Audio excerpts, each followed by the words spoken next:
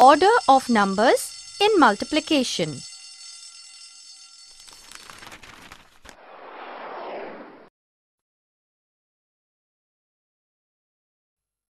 Starry, see I have brought the table which shows the 2 times table, 3 times table, 4 times table, 5 times table and 10 times table. I have one interesting question for you. Can you tell me the multiplications where the answer is 12? Yes, Starry. 3 fours are 12. 2 sixes are 12. 4 threes are 12. Consider the examples. 3 fours are 12 and 4 threes are 12.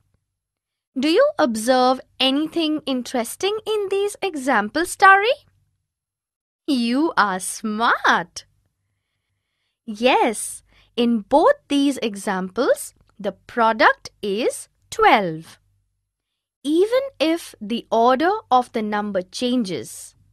So, this means 3 into 4 is equal to 4 into 3.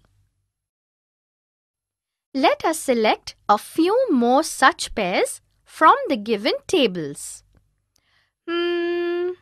See, 3 fives are 15 and 5 threes are 15.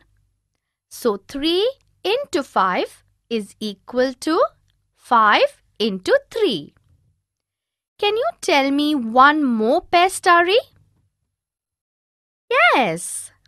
4 into 10 is equal to 40. And 10 into 4 is also equal to 40. So 4 into 10 is equal to 10 into 4. Did you understand? Okay. Then observe the given picture and fill in the boxes. In the first picture, there are two leaves on a stem. There are four such stems. So two leaves are taken four times. What number should we write in the boxes, Starry? Yes, 2 into 4 equals to 8. In the next picture, 4 leaves are taken 2 times. So, 4 into 2 is equal to 8. What do you understand from this, Starry? Yes, we understand that 2 multiplied by 4 is equal to 4 multiplied by 2.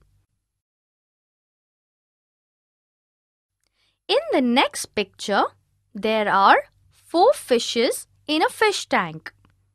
There are 3 such fish tanks. So we get 4 into 3 equals 12. Later, the number of fish tanks is 4, with 3 fishes in each. What is the total number of fishes here, Starry? Yes, 3 into 4 is equal to 12. So, the total number of fishes is 12. Here also, 4 multiplied by 3 is equal to 3 multiplied by 4.